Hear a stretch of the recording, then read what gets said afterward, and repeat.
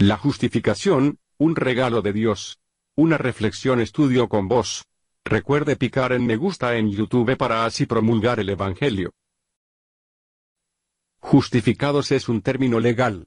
Significa que usted está en la posición correcta delante de Dios.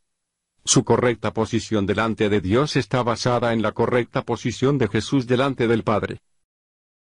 Tito 3:7. Así lo hizo para que, justificados por su gracia, llegáramos a ser herederos que abrigan la esperanza de recibir la vida eterna. Hoy, usted es tan justo como lo es Jesús porque su justificación proviene de Él. Jesús la compró para usted en la cruz. Cuando lo recibe como su único Señor y Salvador. Él toma sobre sí toda su maldad y de una vez y para siempre le otorga el regalo de justicia. Esta justificación es algo que jamás se puede obtener o ganar a través de buenas obras o pactos monetarios. Solo se puede recibir creyendo en Jesucristo. ¿Sabe lo que ocurre cuando usted recibe el regalo de justicia? Romanos 5:17. Los que reciben en abundancia la gracia y el don de la justicia reinarán en vida por medio de un solo hombre, Jesucristo. Cuando usted reina, su adicción no. Cuando usted reina, la enfermedad no cuando reina, el temor, la depresión, y todo obstáculo que está obstruyendo que usted viva la vida abundante que Jesús promete será derribado y arrastrado fuera de su vida. Existen muchas enseñanzas sobre hacer las cosas correctamente, pero la respuesta se encuentra en creer correctamente acerca de su posición en Cristo. Es por ello que es tan importante recordar que su justificación, su correcta posición, delante de Dios es un regalo.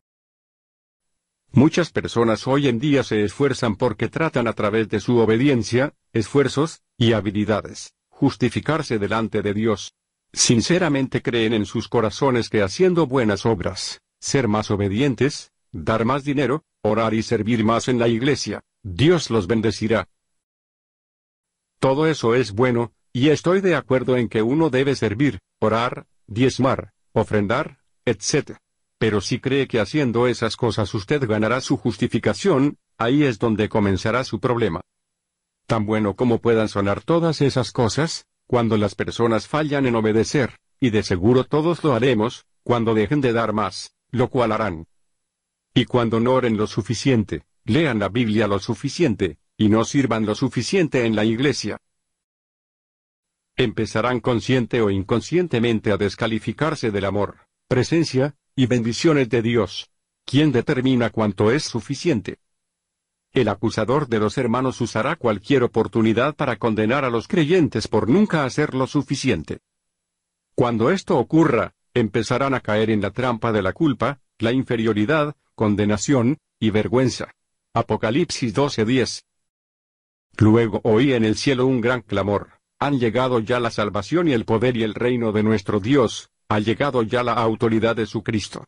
Porque ha sido expulsado el acusador de nuestros hermanos, el que los acusaba día y noche delante de nuestro Dios. Esto es lo que pasa cuando una persona basa su relación con Dios por sus propios méritos, siempre se quedará corta. Así era la manera de hacer las cosas en el viejo pacto.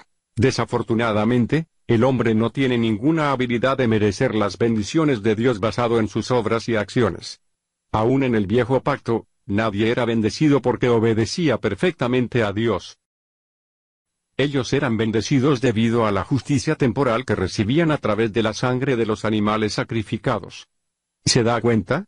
Antes y ahora, la justificación delante de Dios no puede ganarse, es un regalo de Dios, basado en su gracia y favor inmerecido. Dios les bendiga.